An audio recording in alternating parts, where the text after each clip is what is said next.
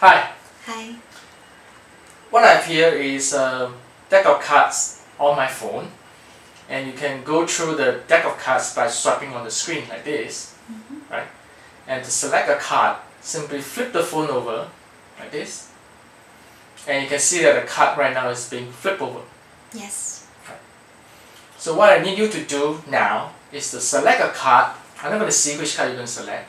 Alright, once you're done, flip the phone over and then leave the phone on the mat here.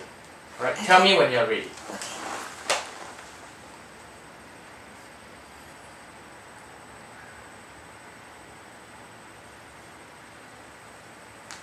I'm ready. Okay, I'm going to move this aside. I'm going to flip the phone over. And in my hands here, you can see is a deck of ordinary cards. And all the cards here are different. Alright, right now I'm going to place three cards on the table. And I need you to point to one of the cards for me.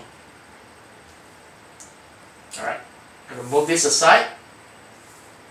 Now, point to me the next card. This one. Alright, I'm going to move this aside.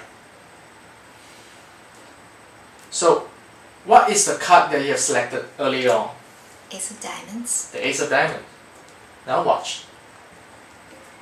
The Ace of Diamond.